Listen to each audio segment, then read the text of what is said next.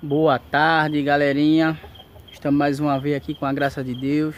Deus proteja todos, abençoe todos nessa tarde de domingo. Que todo mundo tenha uma, uma tarde muito boa e um bom restante de fim de semana.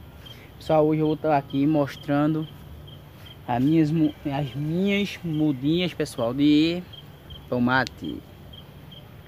Feita com 12 dias já depois de plantada. Os tomatezinhos, pessoal.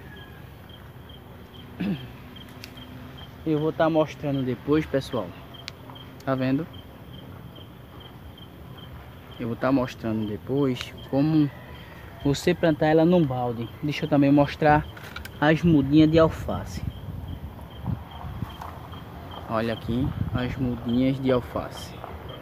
Eu vou estar tá fazendo, pessoal. Tá vendo aí direitinho assim?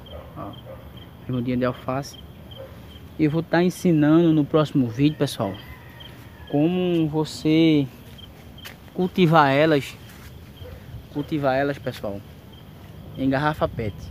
E dá bastante você. No próximo vídeo eu vou vai estar tá aí esqueleto, esqueleto vai estar tá me ajudando. Hoje tem folga ela que é domingo. Aí ela vai estar tá me ajudando e vou estar tá mostrando a vocês como é que pode cultivar em garrafa PET. Você que não tem espaço aí na sua casa, você que mora em apartamento em casa, aí você pode cultivar qualquer coisa, você pode cultivar na garrafa PET. Tendo um adubo adequado, a terra ou areia que você pode chamar aí, aí você pode, pessoal, pode estar tá cultivando na sua casa. Eu agora vou mostrar, pessoal, os cachinhos de uva. Alguém tá aí, ah, não consegui ver o cacho de uva direito que o senhor está fazendo.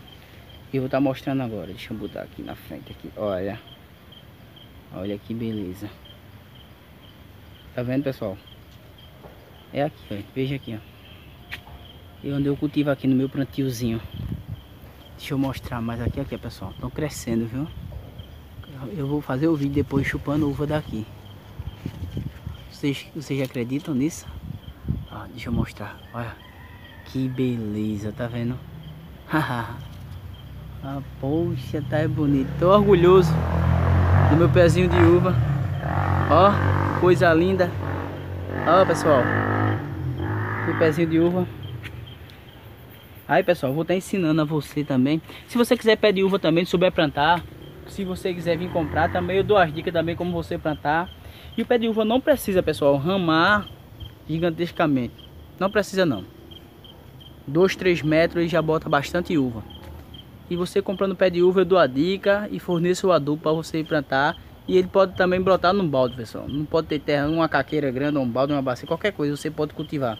Então, galera, dá o teu gostei aí, te inscreve no canal e nos ajuda aí na loja Pé da Serra. Valeu, pessoal!